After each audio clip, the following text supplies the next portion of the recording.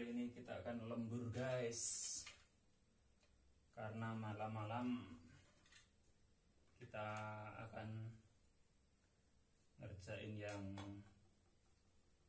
ringan-ringan aja ya. Kita akan poles. Ya, biar makin kinclong.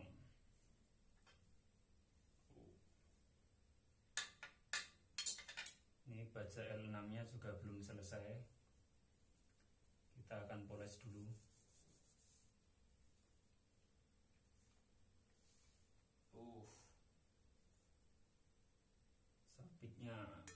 per